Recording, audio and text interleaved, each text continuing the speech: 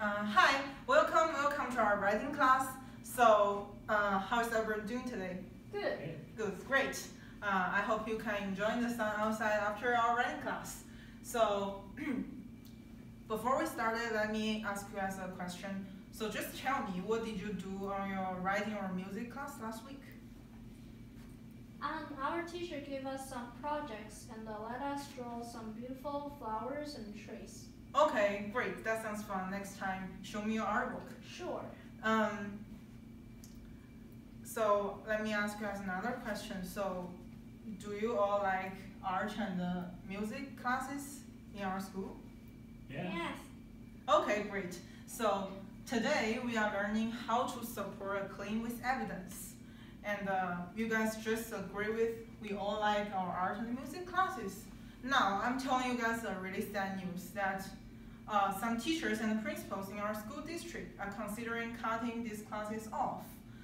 And we are going to write them a letter to convince them keep these classes with us.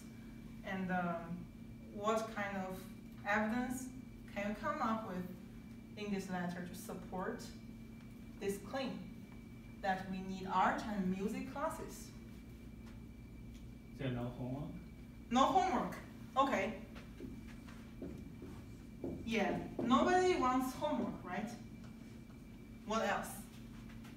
There are no right or wrong answers in art and music classes, not like math and science. Exactly. Yeah, and uh, which give us uh, many opportunities to to do to sing and draw whatever we want. Yes. So um, let's just say it's, it gives us infinite possibilities.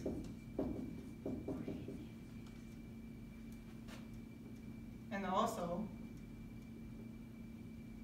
give us a way to kind of express ourselves since we can think and draw through those art forms.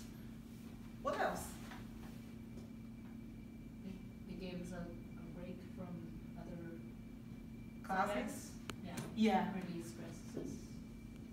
Personally, I don't like science and math.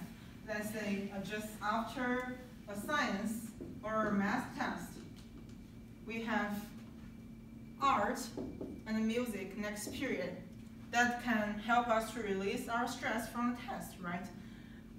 So now we have all of this evidence that we come up with to support our claim.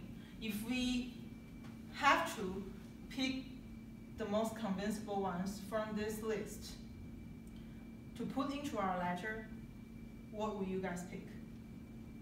Mm, I would choose number three. Okay, number three. What else? Number two, Number two. Can anyone tell me why we don't choose number one?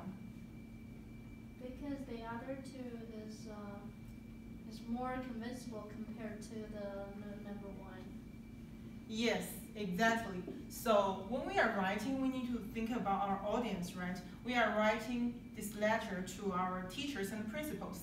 When they are reading our letter, when they see these two reasons, they will think, oh, these classes are helping our students to become better, to become better people. But when they see this evidence, they may think, oh, these kids are so lazy. We need to cutting these classes off to make them work harder. So now we are we all learned how to pick the strongest evidence to support our claim. Next time when we are writing a new claim, we need to pick up the strongest evidences and getting rid of those weak evidences. That's all I've got for you today, and uh, uh, in order to help you guys remember these points, I've got you a little chant. Uh, I will sing once, and uh, please sing along with me. Um, Every time when we have a claim, we use great evidence to support. Every time when we have a claim, we use good evidence to support. Okay, thank you guys. You guys are awesome. I will see you tomorrow.